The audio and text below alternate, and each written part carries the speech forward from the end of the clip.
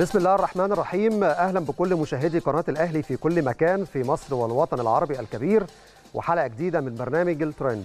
بالتأكيد حلقة النهارده فيها تفاصيل وكواليس في ظل المستجدات اللي موجودة على الساحة الرياضية وتفاصيل كتيرة قوي موجودة في ال social media خلال الساعات الأخيرة. الدوري خلص والموسم خلاص انتهى والفترة الجاية فيه أجازة وراحة سلبية. ما حصلتش منذ فترة طويلة لكن دايما ال social media أي موضوع بيبقى ترند. أي خبر متعلق بالنادي الأهلي بيبقى trend ال trend. دايما النادي الأهلي في صفقة في معلومة في قرار. النادي الأهلي دايما بيكون هو المحتوى الأساسي لأي موقع تواصل اجتماعي أو حاجة أي شيء على ال social media تويتر إنستجرام أو حتى فيسبوك. بالتأكيد حلقة النهارده فيها تفاصيل كتيرة وهنستعرض بعض الموضوعات.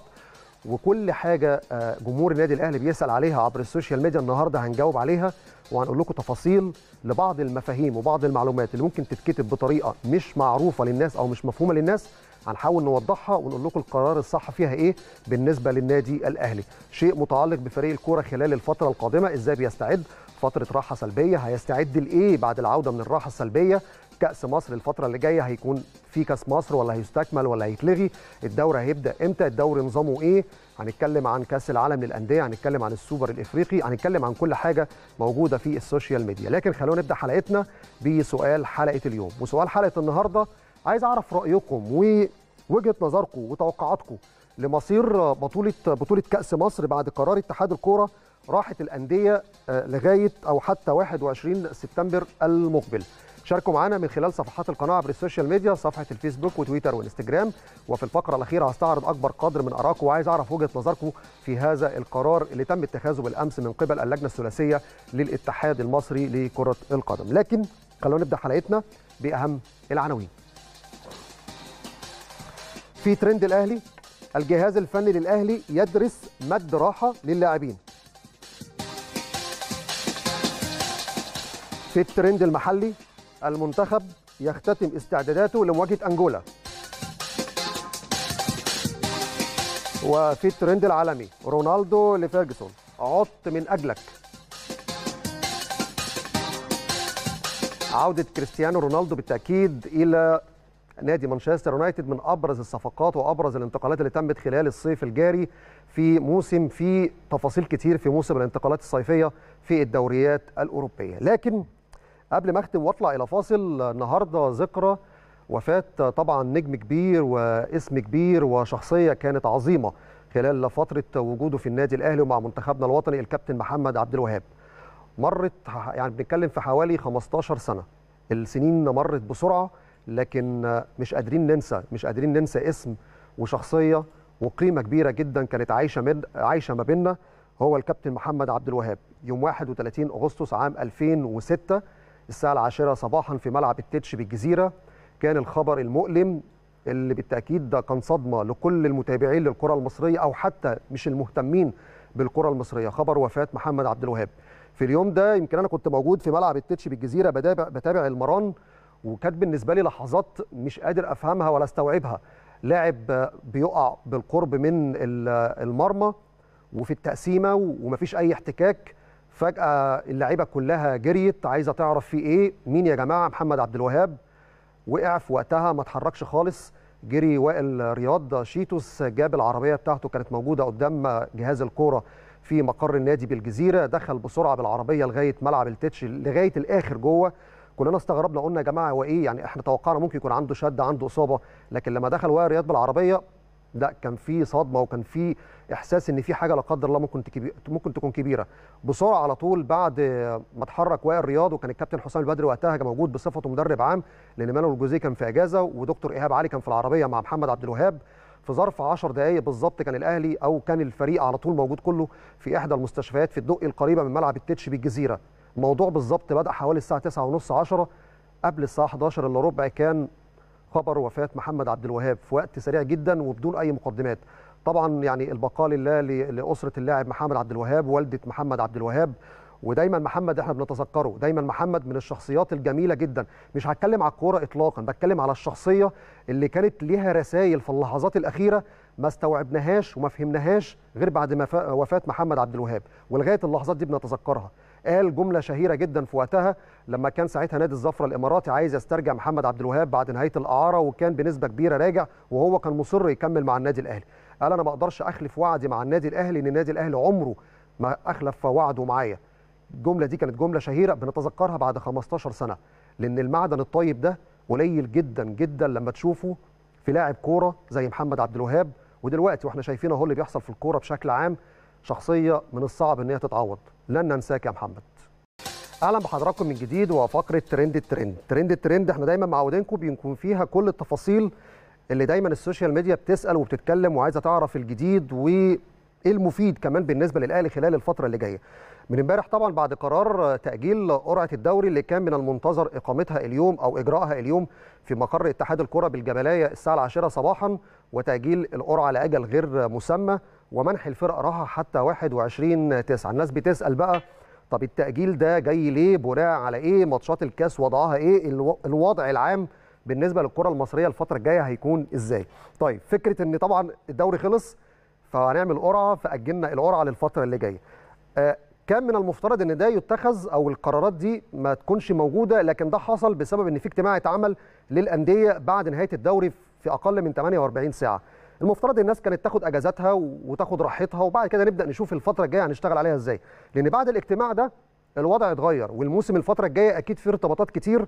فمهما قالت الأندية من اقتراحات أكيد اتحاد الكرة في النهاية هو صاحب القرار الأول والأخير. هو سمع الأندية والأندية قالت حاجتين الاتحاد أصبح ما, ما بين نارين يعني ياخد قرار ولا ما ياخدش قرار. الأندية في الاجتماع كانت بتتكلم على فكرة إن لازم اللعيبة تاخد راحة سلبية.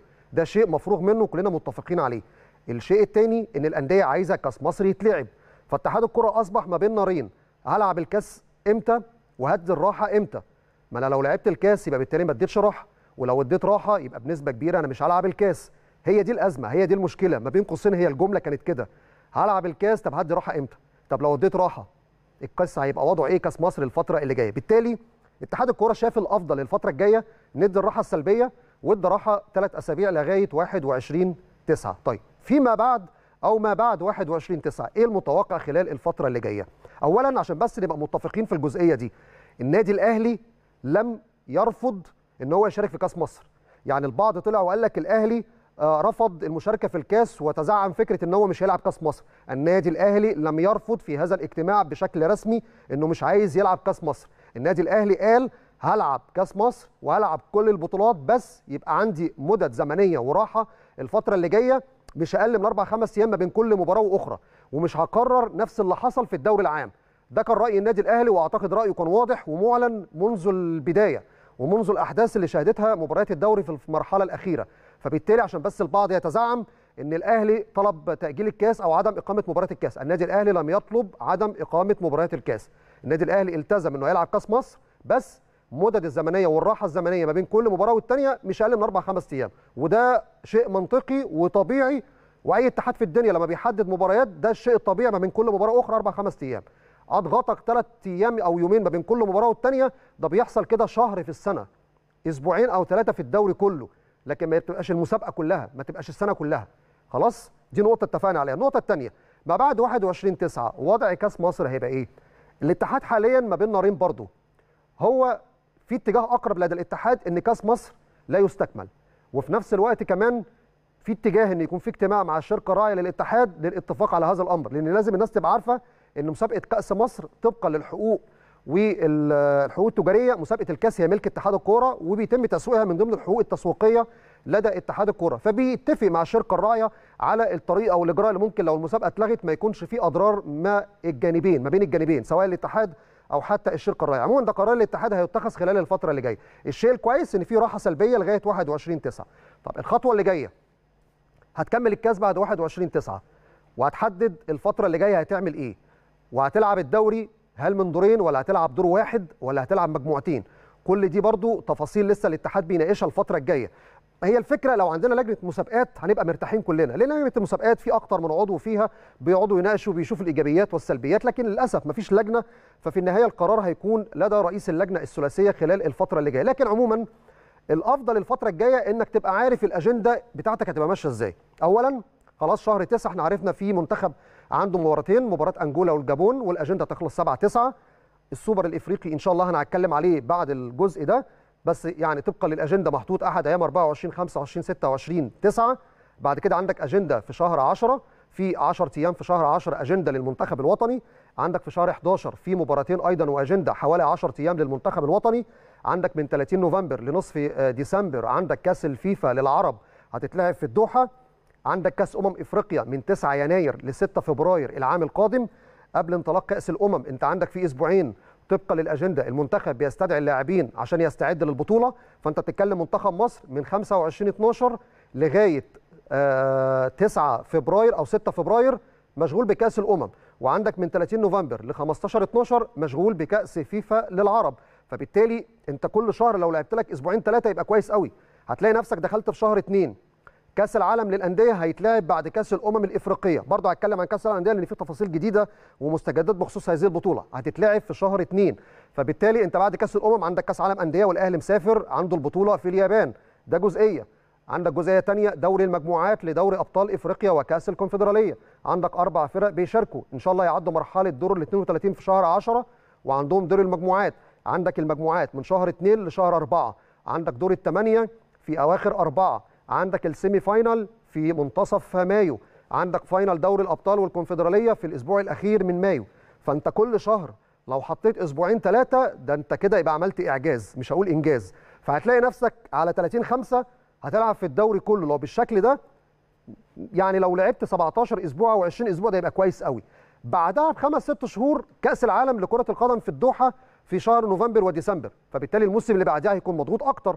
فالاتجاه ممكن تلعب دوري من دور واحد أو دوري المجموعتين لكن دوري من دورين لو الاتحاد خد الخطوة دي الكرة المصرية للسنوات الجاية هتبقى فيها مشكلة كبيرة وهتبقى فيها زحمة كبيرة جدا. قلت النصايح للاتحاد وقلت الأجندة والأكيد الاتحاد عنده الأجندة وعارف التفاصيل دي وعرضها على الأندية. لكن عموما في فترة الراحة السلبية نتمنى يكون في قرار قريب جدا في هذا الموضوع. طيب السوبر الإفريقي وفي كلام كتير جدا على فكرة تأجيل السوبر الإفريقي. طبقا للأجندة سوبر افريقيا هيتلعب في 24 25 26 9 والميعاد المقترح من اللجنة المنظمة المحلية في الدوحة اللي اجتمعت أول أمس اللي اجتمعت أول أمس عندها ميعاد مبدئي تلعب يوم الجمعة 24 9 على ملعب جاسم بن حمد ملعب نادي السد في الدوحة. لكن الاتحاد الإفريقي بينتظر خلال الساعات القادمة وتحديدا قبل يوم 5 9 الإجراءات والترتيبات وملاعب التدريب وملعب المباراة والبروتوكول الطبي اللي هيتنفذ على الفرقتين عشان يقدر يتخذ اجراءات ويبلغ الناديين بكل التفاصيل. التفاصيل دي المفروض خلال الأسبوع الأول من شهر 9 أو بحد أقصى 5 9 هيتم يعني بلورتها وإرسالها إلى الاتحاد الإفريقي عشان يقدر يبلغ الجهات المنظمة سواء الأهلي أو الرجاء أو طاقم التحكيم أو حتى الوفد الرسمي اللي هيسافر من الاتحاد الإفريقي، لكن كل شيء حاليا متعلق باللجنة المنظمة المحلية في الدوحة اللي هتجتمع تاني بعد الاجتماع اللي تم أول أمس عشان تبلغ كل التفاصيل دي للاتحاد الإفريقي لأن هو المنوط بإبلاغ الناديين الأهلي والرجاء. فكرة تأجيل السوبر اللي بعد كده فكرة غير واردة وغير مطروحة ومفيش مفيش في الأجندة أصلا أي ميعاد، ليه بقى؟ وده الجزء المتعلق بكأس العالم للأندية. أول أمس وأنا بكلم بعض المسؤولين في في اللجنة التنفيذية في الاتحاد الإفريقي وبسألهم على كأس العالم للأندية فوجئت إن قالوا لي إن هم جالهم أصلا إن الاتحاد الدولي حاطط في الأجندة بتاعته كأس العالم للأندية في الفترة من 31 يناير إلى 11 فبراير من العام القادم. وبالتالي ما أعلنه الاتحاد الياباني ده مواعيد مقترحة من الاتحاد الياباني طبقا للأجندة بتاعته لكن الفيفا لم يستقر عليها والفيفا كان حاطط ميعاد مبدئي من 31 يناير ل 11 فبراير. كأس الأمم الإفريقية لما اتأجلت من السنة اللي فاتت للسنة القادمة وهتتلعب من 9 يناير ل 6 فبراير أصبح في تضارب في المواعيد.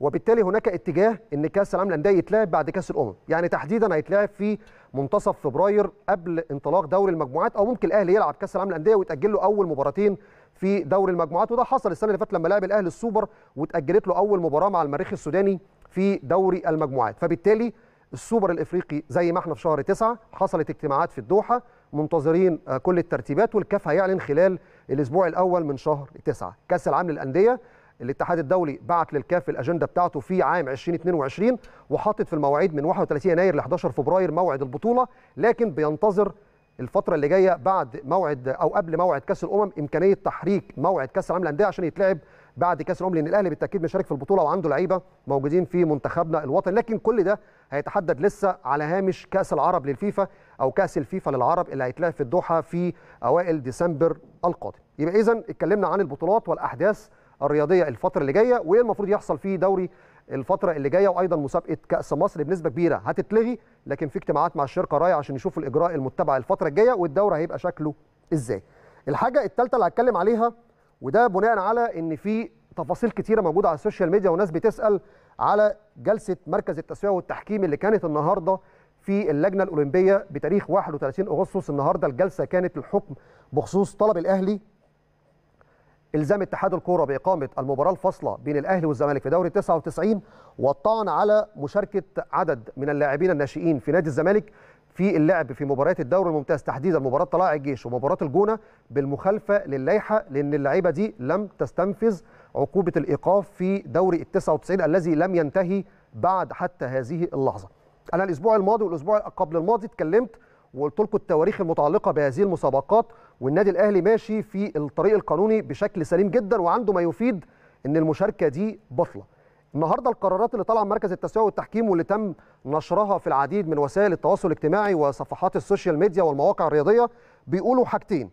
اولا قبول طلب الأهلي بإلزام اتحاد الكرة بتحديد بطل لمسابقة ال 99 وتحديد موعد للمباراة الفاصلة. اذا مركز التسوية والتحكيم خد قرار بإلزام اللجنة الثلاثية واتحاد الكره بتحديد موعد للمباراة الفاصلة وقبول طلب الأهلي بإلزام اتحاد الكره بتحديد موعد. ده شق رقم واحد طب الشق الثاني المتعلق بمشاركة عدد من اللاعبين في مباريات الدوري تحديدا مباراة الزمالك والجيش والزمالك والجونة وهؤلاء اللاعبين أو سيف فاروق جعفر تحديدا كان لسه موقوف ولم يستنفذ العدد المباريات الموقوف فيها في مسابقة ال 99 وشرحت قبل كده وقلت التواريخ والمواعيد والخطابات الرسمية اللي جت للأهلي. ما نشر بخصوص أن طلب الأهلي بخصوص مشاركة هؤلاء اللاعبين هو عدم اختصاص غير صحيح بالمرة. ما نشر بخصوص مشاركة هؤلاء اللاعبين وطلب الأهلي ببطلان مشاركتهم عدم اختصاص غير صحيح بالمرة. القرار هو انتفاء المصلحة. بمعنى إن مركز التسويه والتحكيم قال انتفاء المصلحة بمعنى أن النادي الأهلي ليس له مصلحة في مشاركة هؤلاء اللاعبين من صحتها أو عدمها. ده قرار مركز التسويه والتحكيم. هل في طعن واستئناف على هذا القرار؟ ما زال هناك طعن واستئناف على هذا القرار. هل القرارات اللي صدرت اليوم في صالح الأهلي طبقا للشق القانوني وبدراسة هذه الأمور الحكم في صالح النادي الأهلي بنسبة كبيرة؟ ليه؟ مركز التسويه والتحكيم خد قرار بقبول طلب الأهلي وإلزام اتحاد الكورة بإقامة المباراة الفاصلة. وبالتالي مركز التسويه والتحكيم أقر إن المسابقة لم تنتهي وألزم الاتحاد إن المسابقة لازم يتحدد ليها موعد عشان المباراة الفاصلة تقام خلال الفترة اللي جاية. وبالتالي هذا القرار معناه إن المسابقة لم تنتهي. اذا طلب الأهلي بعدم مشاركة هؤلاء اللاعبين ومشاركتهم تعتبر بطلة هو طلب قانوني ولكن مركز التسويه والتحكيم من وجهة نظره انتفاء مصلحة. اذا في الاستئناف على هذا القرار أمامك طريق للتقاضي مرة أخرى ثم بعد ذلك المحكمة الرياضية الدولية. انتفاء المصلحة هنا هي معيار. ممكن البعض يقول لك أصل أنت ما كنتش الطرف الثاني في المباراة وممكن البعض يقول لك يقول لك لا ما أنا منافس لهذا الفريق ومشاركتهم البطلة دي في التالي عدد فارق النقاط في نهاية المسابقة فاز بالبطولة وأنا كان ليا الحق في أربع ست نقاط لو كانوا اتحسبوا لي واتحاد الكورة. ما طلعش قرار زي ده والأمر اتعرض على لجنة الاستئناف كان هيكون القرار غلط أو مشاركتهم غلط. وبالتالي أنا من حقي أربع نقاط أو ست نقاط. فأنا من مصلحتي إن اطعن على مشاركتهم لأن في فرق نقاط. بالتالي لو تم خصمه أنا هكون بطل الدوري ومشاركتهم أصلا بطلة. ولو تتذكروا على فكرة بعد المباراتين دول اللعيبة دي ما تواجدتش أصلا في أي قائمه لفريق الزمالك حتى نهاية الدوري حتى نهاية الدوري. وبالتالي الحكم اجمالا في صالح النادي الأهلي.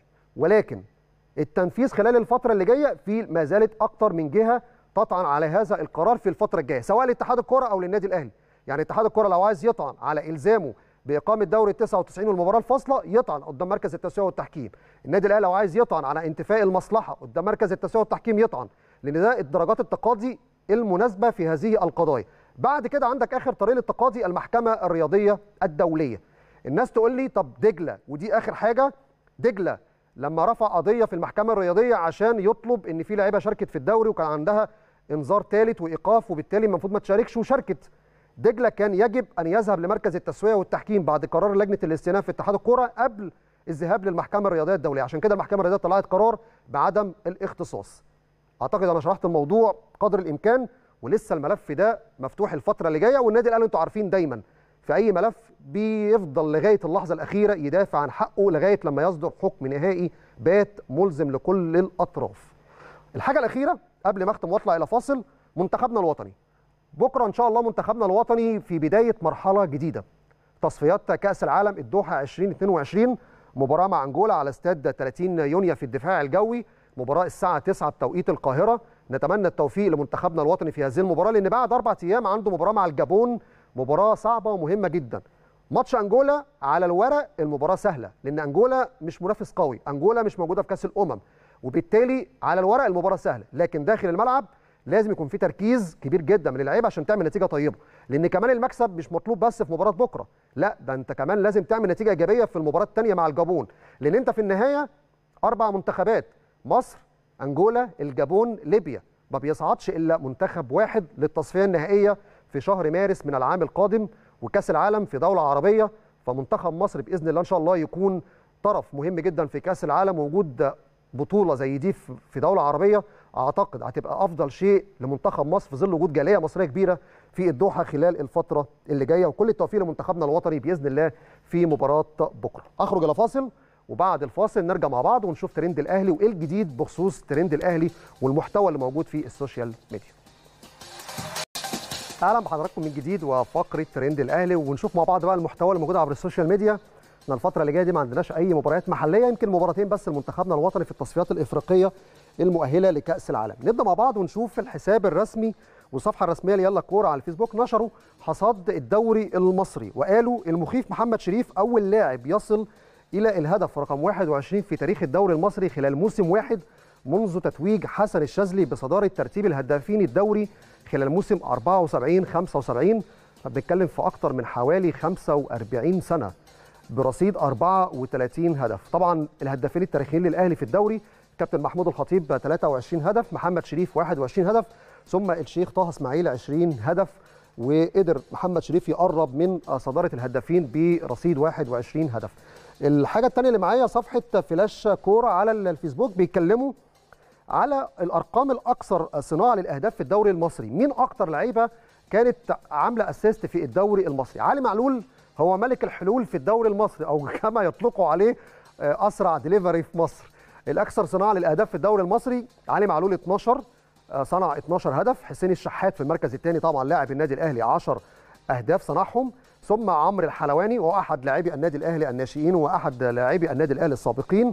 مجدي قفشة أيضا كمان 8 أهداف. ثم عبد الله السعيد 7 وأحمد رفعت 7 طبعا رقم مميز جدا لعلي معلول كظهير أيسر وحسين الشحات اللي تألق بشكل كبير جدا في المراحل الأخيرة من الدوري العام هذا الموسم.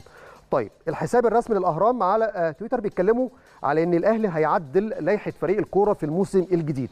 خلال اليومين اللي فاتوا وخلال الأيام القادمة في اجتماعات مستمرة ما بين الكابتن محمود الخطيب مع لجنة التخطيط برئاسة الكابتن محسن صالح وعضوية الكابتن زكريا ناصف لمسألة نشوف الفترة الجاية بالنسبة لقطاع ناشئين الأكاديميات وأيضا كمان لائحة الفريق الأول اللي بيتم دراستها ومناقشتها مع الكابتن سيد عبد الحفيظ مدير الكره صفحة الاهرام بتتكلم عن هذا الاجتماع والنادي الأهلي بيحاول يعمل لائحة بتشوف التطور اللي بيحصل في الكورة بشكل عام والمستجدات اللي موجودة في لوائح الأندية في الفترة الأخيرة عشان نشوف في الفترة القادمة مبدأ الثواب والعقاب إزاي يكون موجود في الفريق الأول عشان توصل للمرحلة اللي انت عايزها. تحقق بطولات وفي نفس الوقت كمان يكون كل حاجة ماشية بالساعة بالظبط داخل قطاع الكورة والفريق الأول. طيب كمان معايا الحساب الرسمي للأهرام على تويتر بيتكلموا على إنه بيتسو موسيماني بيدافع عن بيرسي تاو بعد انتقاله للأهلي. بيتسو موسيماني امبارح كان عنده حوار مهم جدا مع إحدى القنوات في جنوب إفريقيا واتكلم على بيرسي تاو وقال هو لاعب برايتون كان انتقل ليه منذ حوالي ثلاث سنين ونص أربع سنين. بيسألوه هل لاعب لبرايتون؟ قال لعب حوالي ست شهور. هو عنده حاليا 28 سنة لسه قدامه يعني أربع سنوات بيبقى فيها التألق يقدر يلعب فيها مباريات ويقدم مستوى كبير جدا الفترة دي أو العمر ده من لاعب الكورة. بيكون عمر المخزون اللي يقدر من خلاله يقدم أفضل مجهود كروي في الملاعب. اتكلم كمان قال آخر مرة بيسألوه آخر مرة شفت فيها بيرسي تاو إمتى وتابعته في المباراة إمتى؟ قال لهم الناس كلها عارفة بيرسي تاو ومتابعة مبارياته سواء مع منتخب جنوب إفريقيا أو حتى في فترة الإعارات اللي ظهر فيها مع أندية الدوري البلجيكي. عايز أقول لكم كمان على معلومة بيرسي تاو حاليا هو تاني كابتن في منتخب جنوب إفريقيا والنهاردة كان حاضر المؤتمر الصحفي مع هوجو بروس في جنوب إفريقيا. عندهم أيضا مباراة في تصفيات كأس العالم وبإذن الله هيخلص المباريات ويرجع بقى وياخد المشوار الرسمي ويبدأ معسكر الإعداد مع النادي الأهلي خلال الفترة اللي جاية. بيرسي تاو هيكون أحد أبرز اللاعبين في الدوري المصري وانتقاله من الدوري الإنجليزي للدوري المصري كلاعب جنوب إفريقي. عمل رد فعل إيجابي جدا لصالح النادي الأهلي في وسائل الإعلام في جنوب إفريقيا. أخرج إلى فاصل وبعد الفاصل نكمل مع بعض باقي فقرات برنامج الترند. أهلا بحضراتكم من جديد وباقي فقرات طبعا ترند الأهلي والجديد بخصوص السوشيال ميديا واللي اتكتب في السوشيال ميديا خلال الساعات الأخيرة. نروح مع بعض ونشوف اللي اتكتب بخصوص السوشيال ميديا الوطن الرياضي والصفحة الرسمية ليها على الفيسبوك نشروا رحيل محلل أداء النادي الأهلي بقرار من موسيماني والخبر مكتوب فيما معناه إن الكابتن محمود الخطيب المكلف من قبل مجلس الإدارة ورئيس النادي بتولي ملف فريق الكورة. قرر رحيل يوشا فالوديا محل الاداء الأهلي عن الجهاز المعاون للفريق النادي الأهلي بخصوص طبعا عدم استمراره في الفترة اللي جاية. الجديد في هذه الجزئية اللي أنا عايز أقوله إن بيتسو موسيماني هو صاحب القرار طبعا برحيل يوشا فالوديا وهذا القرار أخطر بمحل الاداء عقب مباراة الجونة أثناء عودة الفريق إلى القاهرة. يوشا فالوديا خلاص يمكن استقل الطائرة المتجهة إلى جنوب إفريقيا يعني استمر مع النادي الأهلي حوالي أكثر من سبعة ثمان شهور في الفترة الأخيرة وكان ليه دور كبير جدا مع الجهاز الفني بدوره كمحلل اداء مع الجهاز الفني اللي اختاره بيتسو موسيماني. الفترة اللي جاية مين هيكون بديل ليه؟ هل بيتسو موسيماني هيستعين بمحلل أداء آخر؟ ده هنعرفه خلال الساعات القادمة بخصوص محلل اداء في فريق النادي الأهلي. لكن يوشا خلاص ترك الفريق وغادر وعاد إلى بلده في جنوب إفريقيا. المصري اليوم الرياضي عبر حسابهم الرسمي على تويتر نشروا تفاصيل عقد عمرو السولية واتكلموا على إن عمرو السولية جدد مع النادي الأهلي لمدة ثلاث سنوات وكمان اتكلموا على إن السنة الأخيرة المتبقية في عقده من ضمن العقد الجديد يعني بالتالي مستمر مع النادي الأهلي خلال الأربع سنوات القادمة. هننتظر الإعلان الرسمي اللي بالتأكيد الإعلان الرسمي من النادي الأهلي هيكون فيه كل التفاصيل المتعلقة باستمرار عمرو السولية في الفترة اللي جاية. في نفس الأمر أيضا كمان كان في كلام بخصوص حسين الشحات. الصفحة الرسمية اللي في الجول بتتكلم على إن الأهلي يرفض عرض الحزم السعودي لضم الشحات جلسة أخيرة غدا لحسم الأمور. طبعا حسين الشحات حاليا موجود مع المنتخب الوطني ولم يجلس مع أي نادي في الساعات الأخيرة مستمر مع النادي الأهلي وحسين الشحات مستمر مع النادي الأهلي ولم يترك النادي الأهلي سواء على سبيل الإعارة أو على سبيل البيع. الأهلي متمسك بحسين الشحات وبيتسو موسيماني متمسك جدا بحسين الشحات وحسين أصلا لا يفكر اطلاقا في الرحيل عن النادي الأهلي. الملف ده مقفول وأتمنى اللي بيكتب الأخبار دي يعني يشوف حد تاني لأن الملف ده تحديدا مفيش فيه أي سكة إن حسين حتى بيفكر يمشي حسين أعلنها كذا مرة هو مستمر في الأهلي وموسيماني سعيد جدا بأداء حسين الشحات في الفترة الأخيرة. آخر حاجة معايا في ترند الأهلي وهي متعلقة بقى بمباراة السوبر الإفريقي لكرة اليد ما بين الأهلي والزمالك. مجمع صالات دكتور حسن مصطفى يستضيف السوبر الإفريقي بين الزمالك والأهلي. طبعا كلنا بنتكلم على مباراة السوبر الإفريقي بين الزمالك والأهلي وهذه المباراة هتكون إن شاء الله يوم الجمعة الموافق 10 9 على مجمع صالات الدكتور حسن مصطفى بمدينة السادس من أكتوبر وذلك بالتنسيق مع الاتحاد الإفريقي لكرة اليد باعتبار إن الاتحاد المصري هو منظم البطولة. إدارة الاتحاد تقدمت بطلب للحصول على موافقة الجهات الأمنية لإقامة المباراة بحضور جماهيري وإلى أن يصل الرد على هذا الطلب فان الحضور يقتصر حتى الآن على عدد 40 فرد بحد أقصى لكل نادي يشمل أعضاء مجلس الإدارة بحيث كل نادي يقوم بإخطار الاتحاد بالكشف المعتمد بأسماء المطلوب حضورهم. إدارة الاتحاد وافقت على حضور صحفي ومصور من كل جريدة مع إحضار خطاب معتمد من المؤسسة الصحفية. وكمان في حالة رغبة المصور في التواجد في أرضية الصالة هيكون في مسحة الكشف عن فيروس كورونا PCR. نتيجتها لازم تكون سلبية عشان تحضر المباراة. كأس السوبر الإفريقي هيشارك فيه الفائز بالبطولة هيشارك في كأس العالم للأندية اللي هي Super Globe اللي هتستضيفها المملكة العربية السعودية في أكتوبر المقبل. دي كل التفاصيل الخاصة بكأس السوبر الإفريقي بين الزمالك والأهلي وأعتقد هيكون في كمان فرصة لضم صفقات خلال الساعات اللي جاية اتنين لكل فريق قبل موعد هذه المباراة. نتمنى التوفيق يا رب التوفيق يكون للنادي الأهلي في مباراة السوبر أمام نادي الزمالك لكرة اليد. أخرج إلى فاصل وبعد الفاصل باقي فقرات برنامج الترند ونشوف بقى آخر حاجة معانا في برنامج الترند النهارده. آخر حاجة معايا النهارده في برنامج الترند الجزء المتعلق بمشاركة الجمهور على السؤال اللي طرحناه في بداية الحلقة تعليقكم على قرار اتحاد الكورة بفكرة يعني مصير بطولة الكاس بعد قرار الراحة السلبية حتى 21 9 آه إبراهيم ناصر بيقول مش هتتلغي هنكمل الأهلي هياخدها بإذن الله. طبعا هيقصد مسابقة الكاس إن شاء الله الفترة اللي جاية. يوسف حسن بيقول نتمنى ما تتلغيش ونلعبها وناخدها إن شاء الله. كمان رأي آخر أحمد جمال بيقول إن شاء الله بطولة كأس مصر هتكمل والأهلي بطل كأس مصر. الجمهور عايز البطولة تكمل عشان الأهلي يكون فايز بالبطولة لأن كمان خدوا بالكم الأهلي هو حامل لقب كأس مصر العام الماضي. محمد شرف بيقول الإلغاء. محمد إبراهيم مسعود بيقول الكأس هيستأنف والأهلي هيكسبه بإذن الله. كمان رضا البنا بيقول إلغاء والمشكلة في شكل الدوري الموسم القادم وبيتكلم على المرحلة اللي جاية حتى بعد إلغاء الكأس. عمر محمد بيقول هتتلعب والاهلي هياخدها بإذن الله. اذا إحنا بنتكلم ما يقرب من حوالي 80 أو 90% بيتكلموا إن البطولة لا لازم تتلعب وتستكمل والأهلي بإذن الله هيكون فايز بكأس مصر. الأهلي خدوا بالكم هو حامل اللقب فبالتأكيد بيسعى للاحتفاظ بكأس مصر. الأهلي عنده رصيد كبير جدا بالكأس أو حتى بالدوري العام في السنوات السابقة. عموما خلال الفترة الجاية وتحديدا عقب نهاية الأجندة الدولية لمنتخبنا الوطني هنعرف الموقف الفترة الجاية. اتحاد الكرة هيفضل كده مستني لغاية لما تخلص الأجندة وبعد 7 9 يبدأ الاتحاد بقى يعلن خطوته اللي جاية. الكاس هيتلعب مش هيتلعب؟ طب لو اتلعب هيتلعب إمتى؟ السوبر الإفريقي هيكون جات له المواعيد قبل يوم 7 9 فيعرف الاتحاد يحط مواعيد الكاس إذا كان هيستكملها. طب لو لغى الكاس يبدأ الدوري إمتى؟ طب الدوري مجموعة ولا مجموعتين؟ طب دوري من دور واحد ولا من دورين؟